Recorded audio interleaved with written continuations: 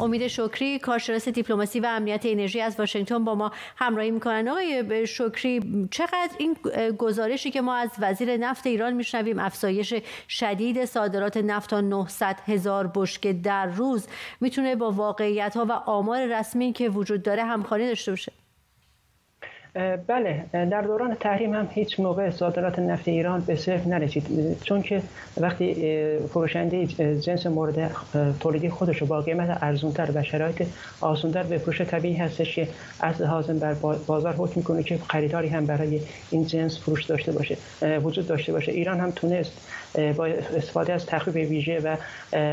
پوشش هزینه حمل نفت با تانکرهای خودش هزینه این هزینه رو متقبل بشه و نفت رو در بازار خاکستری به بیشترین خریدارش چین هستش بفروشه با توجه به اینکه دوران ریاست جمهوری ترامپ به پایان رسید و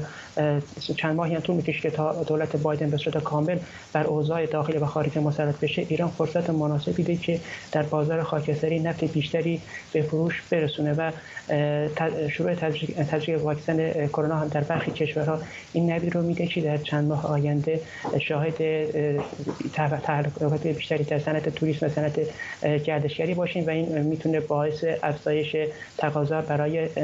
انواع انرژی نفت و گاز و به سبب اون افزایش تقاضا برای نفت و گاز در بازار جهانی بشه که احتمالا تا اواسط تابستون می‌تونیم این افزایش تقاضا رو شاهد باشیم. اینکه آقای زنگنه اشاره کرده که در صورت رفع تحریم بازار خود به خود به سوی نفت ایران میاد آقای شکری بر چه اساسی این موضوع ممکن است اتفاق بیفته؟ به نظر من این به این سادگی که آقای زنگنه هم گفت این امکان نداره چون در دوران تحریم اکثر کشورهایی که از ایران نفت خودشون رو وارد می‌کردن کاربری پالایشگاه خودشون رو تغییر دادن و نفت های جایگزین نفت ایران رو از آمریکا، روسیه، عربستان و حتی عراق و امارات وارد کردن و برای این کشورها پالایشگاه خودشون رو دوباره با نفت ایران وصل بدن چند ماه زمان لازم دارن و این در این بین هم ایران باید هم قیمت ارزونتر نفت رو به این کشورها بفروشه و هم اکثر کشورها مثل روسیه و عربستان دیپلماسی خیلی گسترده انرژی رو شروع کردن که سهم خودشون در بازار کشورهای عمده مصرف کننده نفت مثل چین و هند هم حفظ بکنند و هم مانع افزایش سهم رقبا از جمله ایران در بازار منطقی و بازار جهانی بشن. شرایط برای بازگشت ایران به بازار جهانی مثل دوران برجام نیست و مطمئنم که اکثر کشورهای عمده عضو اوپک پلاس از جمله آمریکا عربستان امارات قطر عراق و روسیه این شرایط رو مهیا نخواهند کرد که سهم و سهم تولید و صادرات نفت ایران به دوران پیش برجام برگرده چرا که همین کشورها از همه ابزار لازم برای حفظ سهم خودشون در هر منطقه استفاده کردن و در, در ماهای آینده با عادی شدن شرایط و توزیع واکسیناسیون در اکثر کشورها رقابت در بازار جهانی افزایش پیدا می‌کنه و ایران به این راحتی نمی‌تونه در کوتاه مدت هم تولید خودش رو افزایش بده هم صادرات خودش رو افزایش بده و هم سهم از دست رفته خودش در دوران تحریم در کوتاه مدت بتونه به دست بیاره. آقای شکری خیلی شما اشاره کردید البته به اینکه چند ماهی طول خواهد کشید تا دولت بایدن و دولت جدیدی که در کاخ سفید هست تغییرش مشخص بشه در مورد تحریم ها در ایران. اما اگر خیلی کوتاه اشاره بکنید که چه پیش بینی میشه داشت از وضع بازار نفت ایران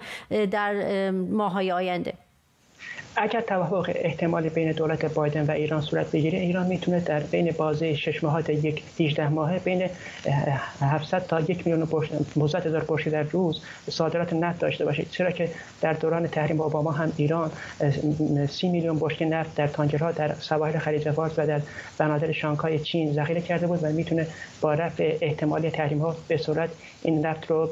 به بازار شرق آسیا به فروش برسونه. ولی در مورد میزان تولید و صادراتش پس از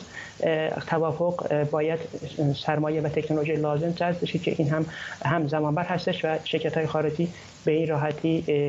بدون گرفتن تضمین های لازم برای سرمایه گذاری در صنعت نفت و گاز ایران وارد نخواهند شد. از توضیحاتتون بسیار ممنونم. امید شکری کارشناس دیپلماسی و امنیت انرژی که از واشنگتن با ما همراهی کرد.